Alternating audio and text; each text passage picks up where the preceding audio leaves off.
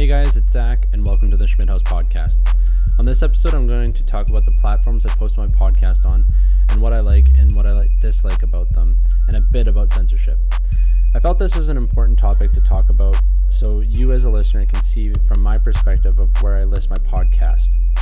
Before we begin, I'm going to do a question and answer episode in the new year. So if you have any questions that you want me to answer, send me an email. The link is in the description box below. Let's dive in. So, the topic for this episode is something that I have wanted to talk about pretty much from the start of the podcast for two reasons. The first is to give you, the listener, a level of understanding on why I choose to post the podcast on certain platforms. And the second is censorship. I'm not going to talk a lot about censorship today, as I want to save that for a different episode down the road. But when I decided to do this, I wanted to put lots of effort into making good content. And part of that was making it available to the most amount of people. In order to optimize that aspect, I chose YouTube, Rumble, Spotify, and Apple Podcasts. If I had started this two years ago, I strictly would have posted it on YouTube and Apple Podcast but it's an entirely different listing market now, and there's tons and tons of different apps and different ways for people to consume content. And there's so much content to listen to. I know myself, I've had to stop listening to some podcasts and stuff purely because there's so much to pay attention to these days. It's a very competitive space. So, the four I chose, I felt, was equally as strategic in being able to capture the ability uh, to grow and have more people listen and have the ability to maximize the reach for people being able to listen to it. Now, I know there are many other places that people might use, and I could post there, but I just don't think it has as much return on the effort and time that it would take. I've done a little bit of research into where people listen to, and I felt that I was able to capture the most um, with the four that I do post on. So, uh, but myself, mainly, I use YouTube about 90% of the time, I'd say, uh, to listen to podcasts or other similar content. This is the primary place that I would feel, and it, you know, and I feel that it's best to be on uh, to do my production. And I base YouTube uh, on the way that I produce the podcast uh, in mind uh, the most.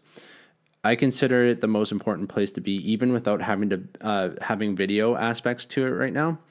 But YouTube, in my mind, is uh, first in and best dress, and it's as far as usability uh, and popularity, it, it, takes the cake on that one.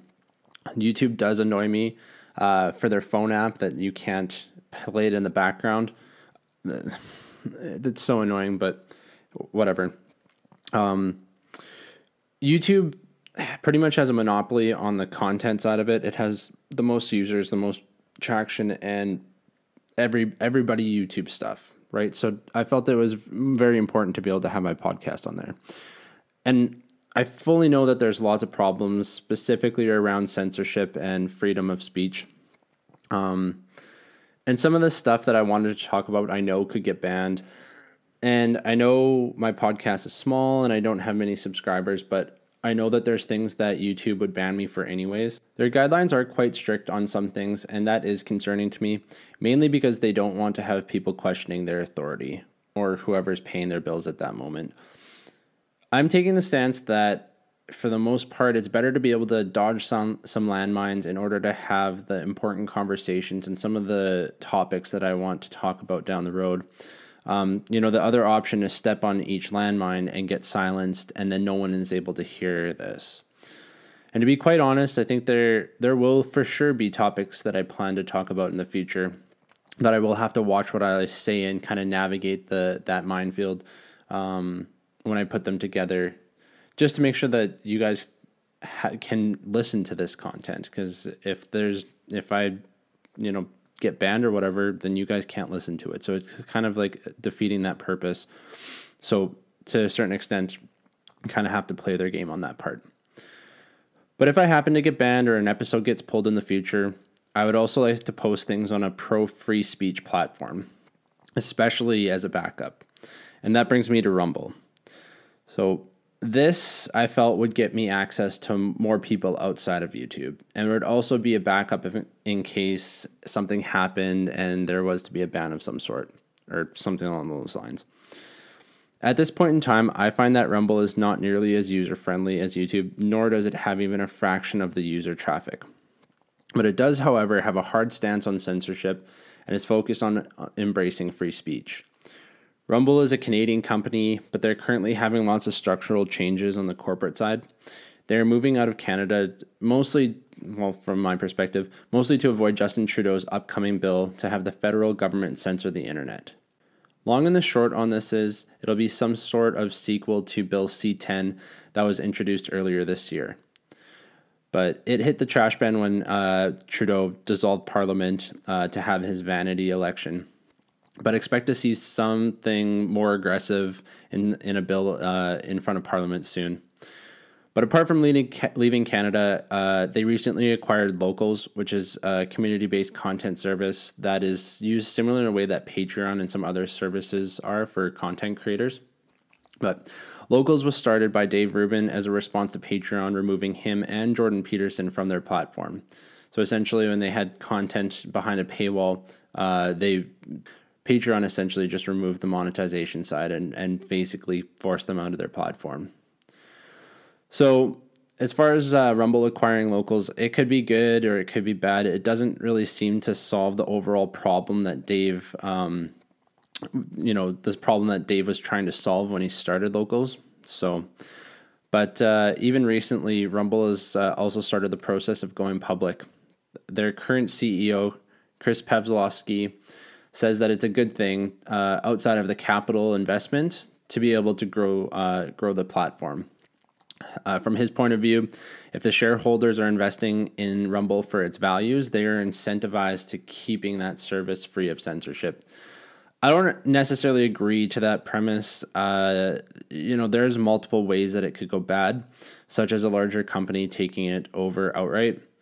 Then you're kind of back at square one and fighting for the same same censorship that you tried to escape or it could even just be hijacked by leftists and corrupted that way, like many of other companies before it.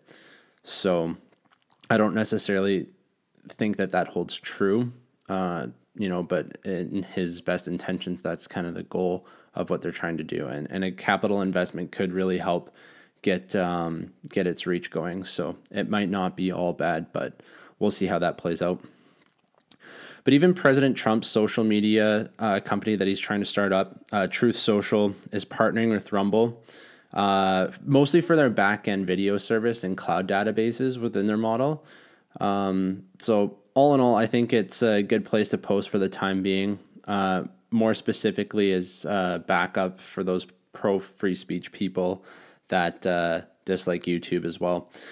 Um, you know, even I know I understand that there's other video services like BitChute and and things like that. Um, but I just feel that the two that I'm posting on as far as video services with YouTube and Rumble, I think that's going to solve that um, that aspect of what I'm trying to do here. So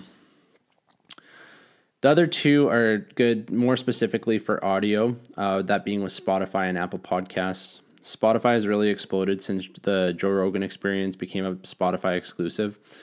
And Apple Podcasts is just a classic. That's where I started listening to podcasts. Um, everything was on there. Um, and I'm not so much afraid of uh, the censorship from either of these two places for the most part. And even if there was, uh, it doesn't bother me as much as what's going on with YouTube. Um, but I really just wanted to go over this so that you had some level of understanding of things, um, kind of from my point of view, uh, on why I'm considering uh, the platforms when I'm posting my podcasts. I want to ensure that people have access to it wherever they listen most. And, you know, personally, I find it annoying that I have to use four different apps to listen to things just because people post exclusive content on a specific site and whatnot. Um, but I want to make sure that my stuff is posted where people who want to listen to me can easily find me. And that kind of led me to posting on those four main places. Now, one other platform that I am looking uh, forward to integrating once it all is put together is what Tim Pool is coming up with.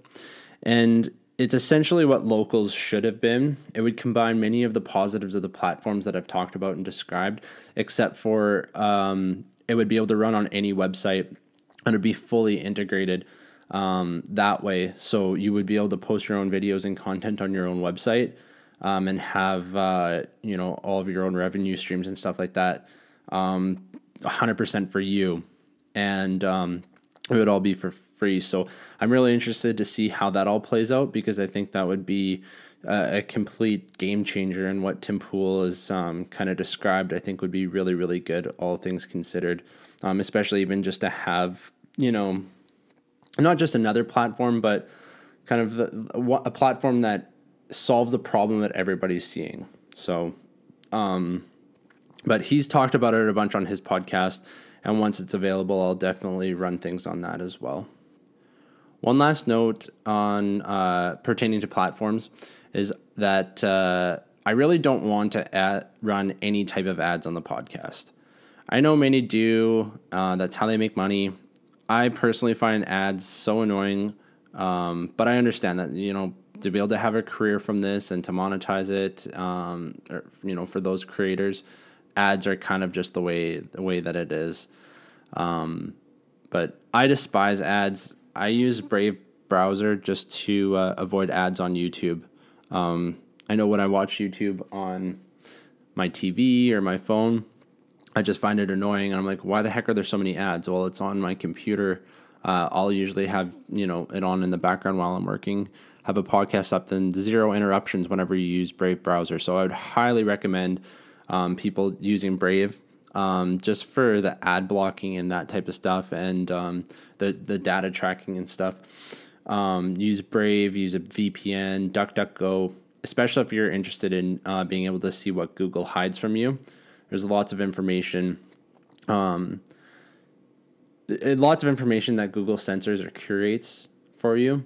And DuckDuckGo and, and Brave are definitely good ways to go about doing that. Um, plus, with Brave, there's it has um, cryptocurrency integrations and stuff like that. So it, it's a really good browser to use. I've I've switched over to using that significantly more than others, but um, yeah. Anyways, if you like what I'm doing and want to support me to keep this ad free, uh, you can support me via Bitcoin. My wallet address is in the description box below. Um, but sharing the show also helps. Uh, you know, I hope you you're enjoying listening to me as much as I enjoy putting these podcasts together. But let me know in the comments if there's a platform that you use uh, that I should post on, and I'll look into getting it posted there as well.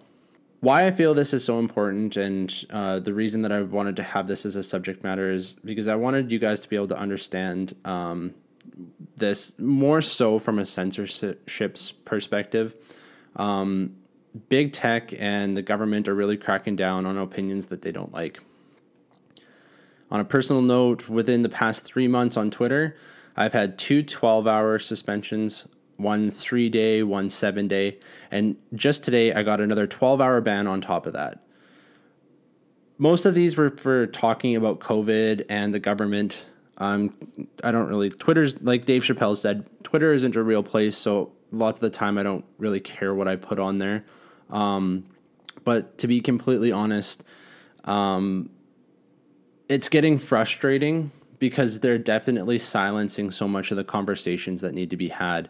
Um, and I feel that the only way to kind of escape that, other than to switching uh, platforms, you know, there's Parler, there's Gab, there's this, there's that. It seems that there's a different um, social media site that's trying to combat this but it just doesn't have the reach. Like these big tech companies are able to essentially have a monopoly on the market and I don't necessarily think that's a bad thing. It's just they're using it for nefarious um, intentions, and that's the problem that I have.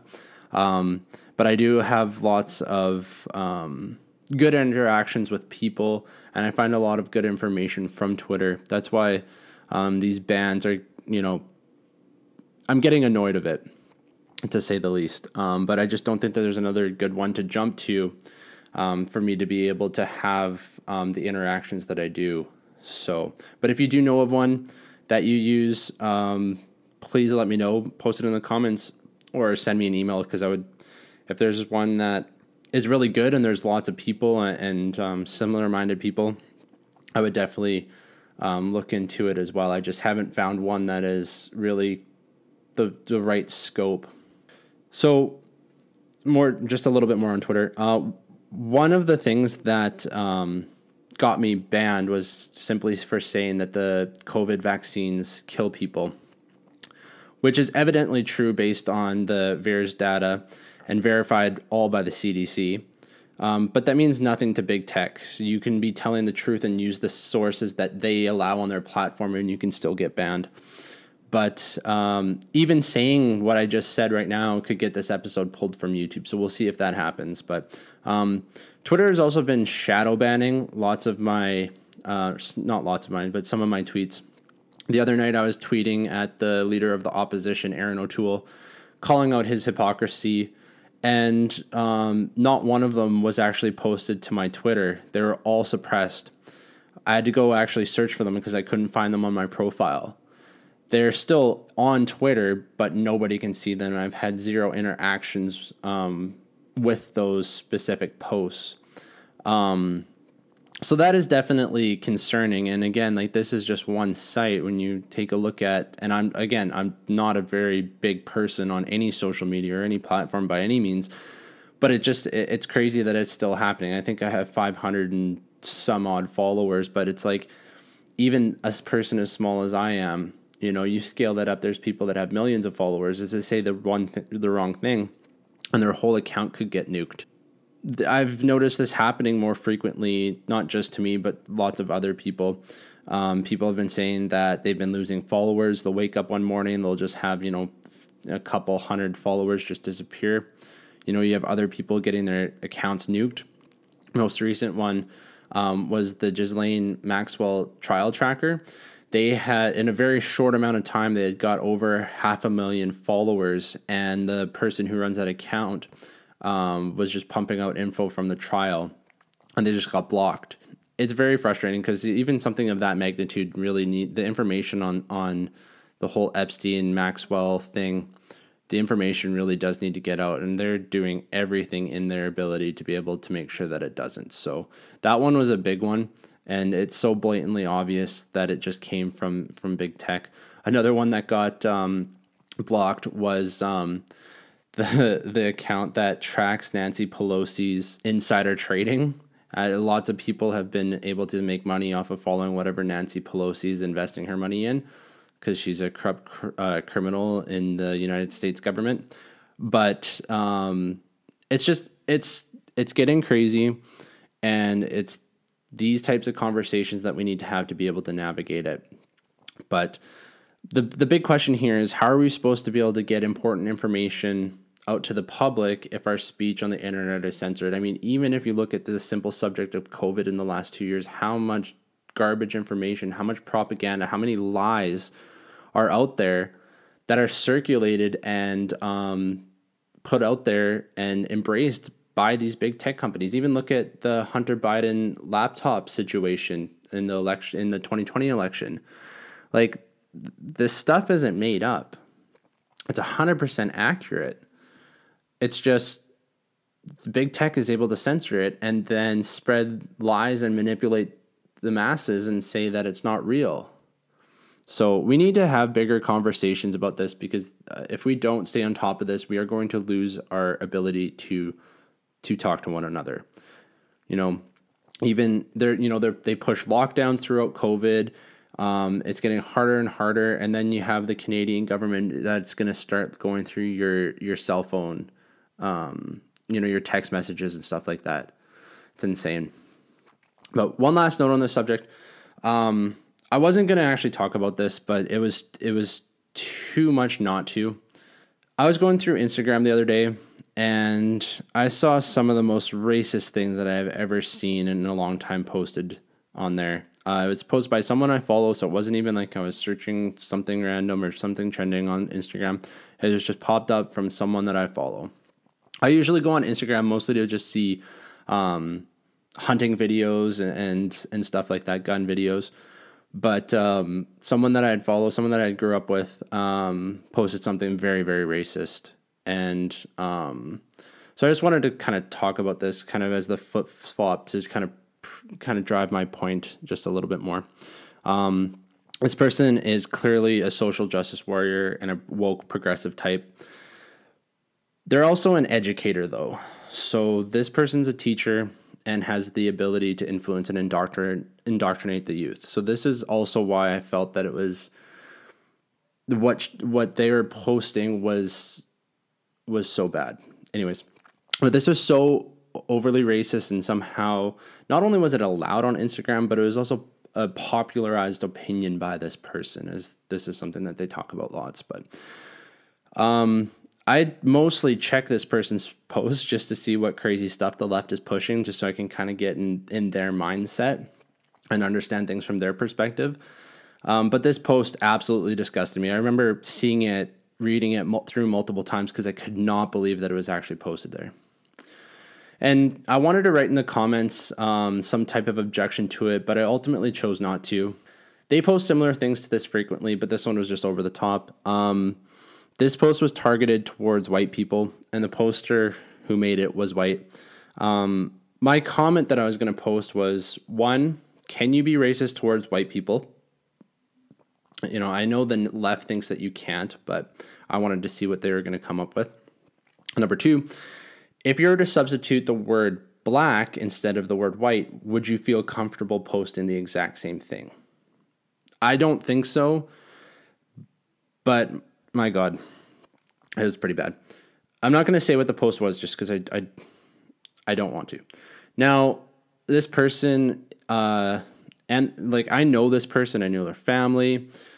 Uh, so that's why I'm really not giving more, any more information about it. Um, but I know how this person was raised. I know their parents, and I know their parents would never have let this something like this slide. You know, their teachers taught them better than that. And how do I know it's because I had the exact same teachers? I, my, our, our parents were friends, you know. But sadly, I think that uh, most people are okay with this type of behavior and they reinforce it. It's, I mean, Instagram obviously allows something like that on their um, on their platform. But I bring this up to show the level of depravity and hypocrisy of the left and the tech companies that are clearly embracing critical race theory that the left are using to win these ideological battles. And it's posts like this that prove to me that the real racists are the woke progressive types. Censorship is a cornerstone of their ability to spew this filth. But there's more stuff like this uh, that I plan to talk about in a future episode. I didn't. I honestly did not want to talk about this last little bit, but it's been something that's actually been bugging me for a couple of days, and I just had. I had. I don't want to share it with people that I know because they know that person too, and without being able to put it in the right light, I don't want to throw this person under the bus because I, I I do respect them as a person um, I just can't get behind that overt racism that they're spewing. So, yeah, uh, censorship is definitely something I'm going to talk about in the future. I hope you understand my position on this whole thing and why I choose to post my podcast on certain platforms. So, if there is a platform that is pro free speech, I'll be leaning towards posting it there, while recognizing the reach and usability of a platform such as YouTube. So, I'm going to call it for this episode. Thank you so much for listening. I honestly, I really appreciate it. Um, please help me beat the algorithms and, and, fight big tech and grow the show by sharing this with just one friend. Just copy and paste the uh, the Linktree link in the description box below and text it to a friend and have them have a listen because uh, that would be absolutely huge for me and that's the best way to help me grow the show. Trudeau should be in jail. Go buy guns and ammo and stay free. Thank you for listening to the Schmidt House podcast. If you want to support the podcast, I'm accepting payments via Bitcoin. Just send me an email and I will respond with the details. The Schmidt House podcast is available on the following services YouTube, Rumble, Apple Podcasts, Spotify, and hosted by Buzzsprout. Please like, subscribe, enable notifications, and most importantly, share this with a friend. Check out the description box for more information about things I discussed this episode and how to get in contact with me. Please reach out to me with any suggestions or topics that you would like to hear. Take it easy and have a good day.